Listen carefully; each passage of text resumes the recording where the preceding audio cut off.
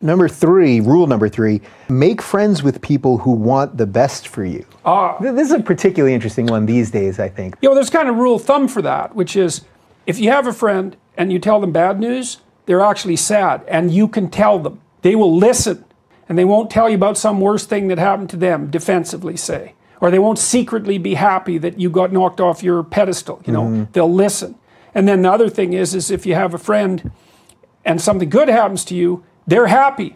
You know, if you're trying to quit smoking and your friends are offering you cigarettes, that's like, look, there's a joke. You can make a joke about that. And if it's a joke, it's fine.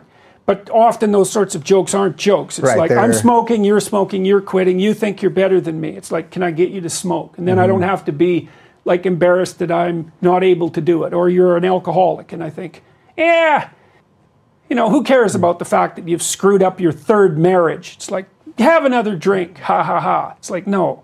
People don't exactly understand that it's okay morally to choose people that are trying to help you be better and to shy away from people who are going to drag you down. So I, I, this image always comes to mind for me. You know, if you're a lifeguard and you want to rescue someone who's drowning, the way you swim up to them is like this, with your foot out.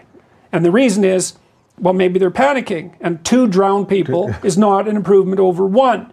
You're not morally obliged to go down with someone else's ship. Now, you think that's pretty harsh and pretty rude. You can't abandon a friend in need. That's not what I'm saying.